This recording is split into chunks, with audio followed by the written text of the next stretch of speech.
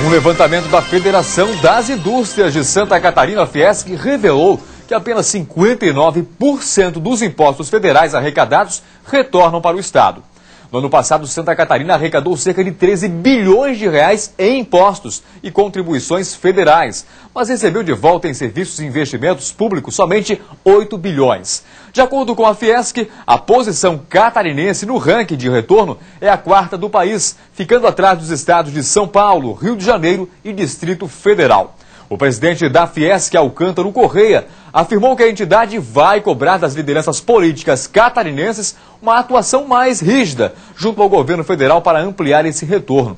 O levantamento foi elaborado com base nos dados da Receita Federal, do portal da Transparência do Governo Federal e do Sistema Integrado de Administração Financeira.